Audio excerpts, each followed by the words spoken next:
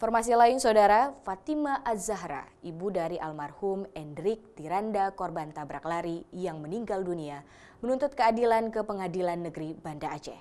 Aksi simpati ini menuntut keadilan terhadap persidangan kasus tabrak lari yang menimpa anak kandungnya. Sebagai orang tua, beliau sudah melimpahkan kasus ini kepada kita. Kasus Kasus tabrakan lari yang merenggut nyawa anak dari Ibu Fatimah ini terjadi pada 29 Maret 2016 lalu. Namun pada tanggal 8 September baru dilimpahkan oleh Kejaksaan Tinggi Banda Aceh ke Pengadilan Negeri Banda Aceh.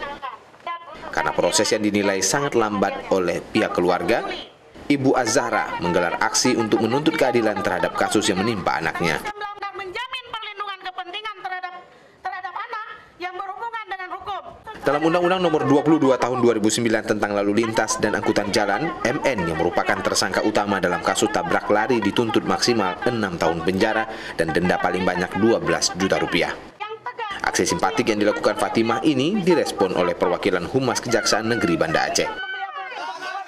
datang ke sini adalah untuk minta bantuan agar semua orang bantu saya karena selama ini saya sendirian saya tidak ada eh, pengacara atau LBH yang membantu saya dan siapa pun jadi saya sendirian eh, dan saya sudah nggak sanggup lagi karena saya pikir kok hukum tuh kok harusnya lurus kok udah ada kelak-keloknya gitu menurut saya saya menduga dan saya datang ke sini adalah untuk minta mungkin kepada Bapak eh, Ketua Pengadilan Negeri untuk bantu saya bukan mengintervensi tapi bantu saya untuk menghimbau agar semuanya ini berjalan dengan baik dan benar. Benar, saya minta benar.